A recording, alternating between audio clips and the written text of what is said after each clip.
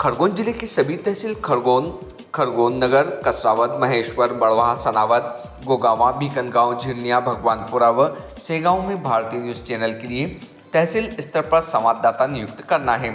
सभी इच्छुक अनुभवी ही संपर्क करें double nine two five zero four double six zero seven शनिवार को भगवानपुरा में चौथा भोंगरिया हाट लगा। जिसमें हज़ारों की संख्या में वनांचल वासी शामिल हुए। यह चौथा भोंगरिया हाट होने के कारण समाज जनों ने जमकर खरीदारी की। इस दौरान हाट में बच्चों ने झूलों एवं कुल्फी आइसक्रीम का जमकर लुफ्त उठाया। समाज के युवक युवतियों ने पारंपरिक परिधान पहनकर भोंगरिया हाट का लुफ्त उठाया। इस भोंगरिया हाट में क्षेत्रीय विधायक केदार डावर, सांसद Gajendra Patel, doctor Govind Mujalda, collector Verma, SP Dharmveer Singh भी शामिल हुए और भोंगरिया हाट की व्यवस्थाएँ देखी।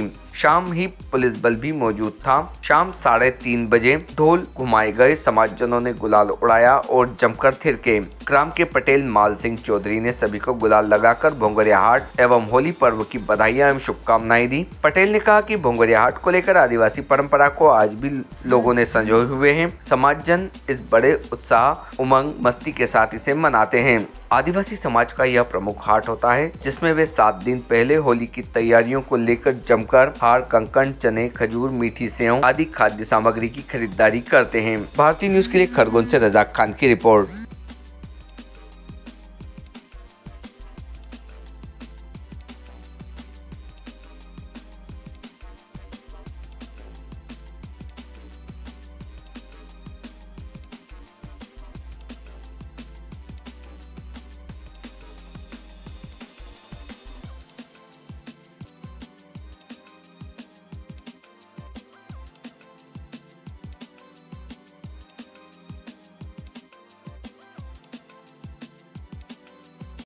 Subscribe now to most exciting channel ever